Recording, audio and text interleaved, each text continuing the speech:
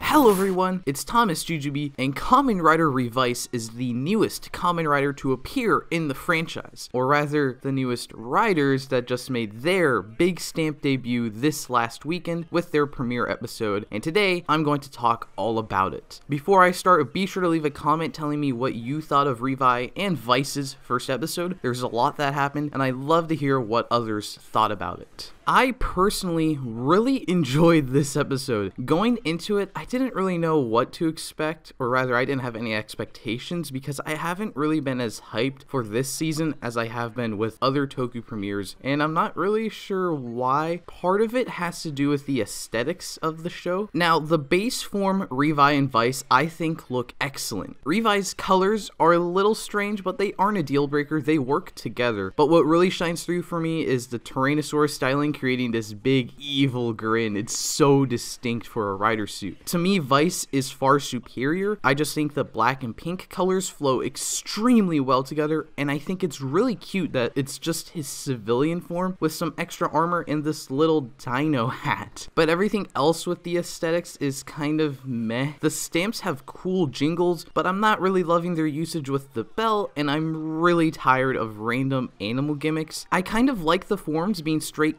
copy and pastes of older riders, but the animal associations are so strange. Again, animals again. And then for an anniversary season, it feels weird that we're just kind of randomly shoving these two random things together. And then the Vice forms don't really look good with different colors. And I mean, yes, it is just how the show looks, so it shouldn't affect my enjoyment of it really, but it was kind of, I haven't really been looking forward to seeing the suits in action. But then episode one happened. It washed away any worries I had pretty quickly with this absolutely beautiful animation with all the primary riders in the 50th anniversary logo before switching to show Kamen Rider, Revi, Vice, and then Revice.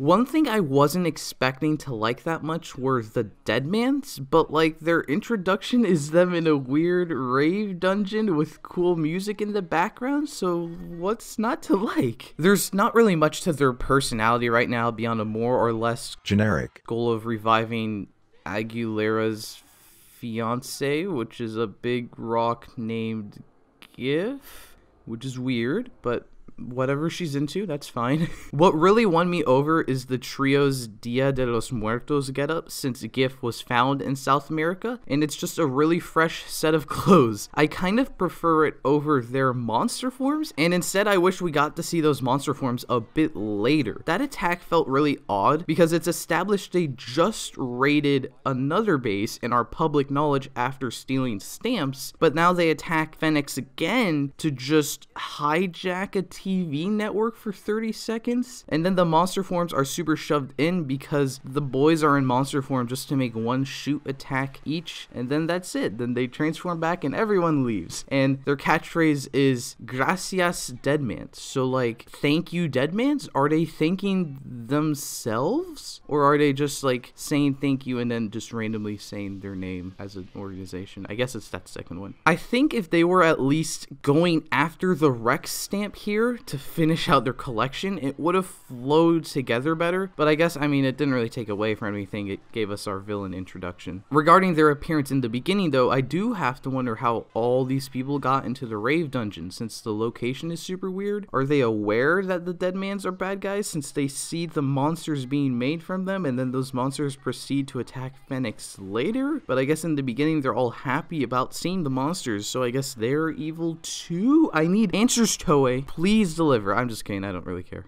The monster creation is actually probably my favorite part about the Deadmans, though. There's something really interesting to me about how they are summoned from the stamps, but the stamps aren't absorbed into the monster. So even though the mammoth monster was beaten in this episode, the Deadmans still have the stamp and could theoretically recreate it, which Saber did too, but the difference is the mammoth stamp isn't a villain gimmick, it's a hero gimmick, and we know it'll create a rider form. So to get the stamp, eventually Revice will have to steal it instead of defeating its host monster, I guess, which I'm really interested to see play out with Mammoth and the other stamps. We even get a Rex monster thanks to that gimmick, and I really like that touch. It's cool to get a monster based off of the base form, especially with how it played into the whole creation of the rider. It added this real consequence to Phoenix Dude just trying to take the spotlight, and I've never really seen something like that happen before. Then it gave Daiji this really interesting internal conflict where he's meant to use the belt, but he literally just saw its usage go horribly wrong, setting the stage for our main character to become the main character. Speaking of the main characters, Ikki and Vice are an amazing pairing in this first episode for a lot of reasons. First off, I love that the deal with the devil idea that's been hyped up was used really well. Ikki only teams up with Vice as a last resort to save his family, but there's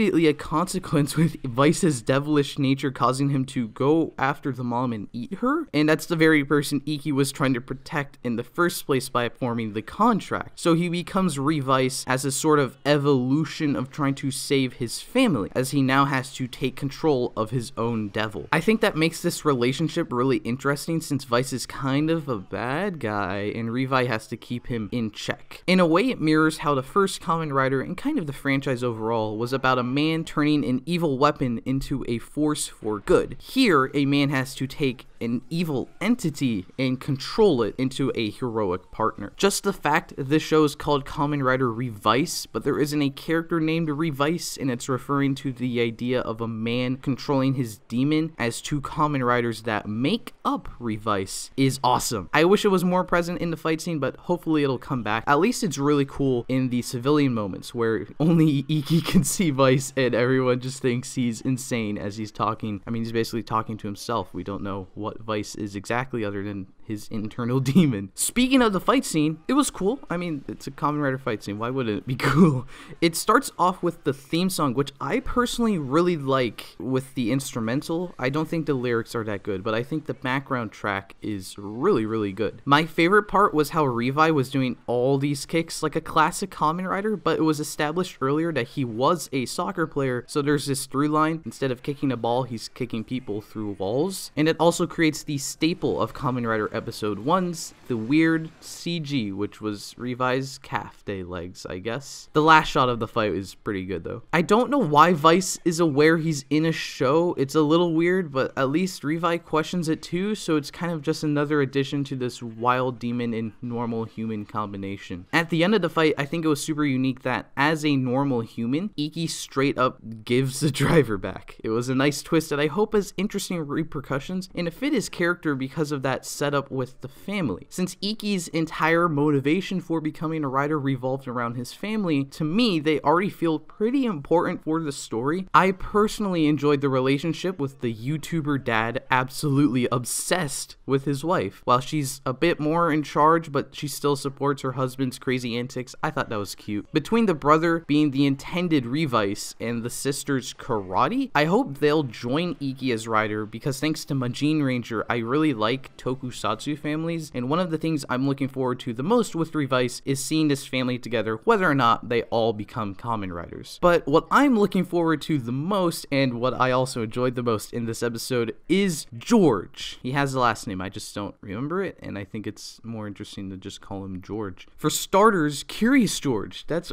he's Curious George. For starters, going into the episode, we know that he is a huge Kamen Rider fan in universe, so it kind of makes him really relatable off the bat, and it's a neat addition for the anniversary show. Additionally, we know that he made all the Revice gear and presumably this really cool jet base. And that's why they all look like older base forms, but it also means we can assume Revice is his original character. but exclusively to this episode, he's still awesome. Being the first character to speak and introducing the driver with a little pizzazz. Then at the conference, he just casually steals the mic from Phoenix Dude, and then when it gets taken back, he just has has no reaction. I love how casually he tells Phoenix Dude, yo, if you try to transform, you're gonna summon a monster. And then when the monster gets summoned, he makes no reaction. He's just like, I mean, yeah, I knew that was gonna happen. I told you so. And during the whole fight, he's not really that worried at all, almost like he's aware this is like a Kamen Rider origin story. It's somebody's gonna become the rider. He'll be just fine. He knows what's happening. Then you can see this evolve when he's doing the Ichigo pose and the face he makes when he does it is absolutely great. And then the face when he's showing the stamping pose to Ikki to summon the gun. And then his random bits of English. Hey, hey, hey, hey, hey. What? What? What?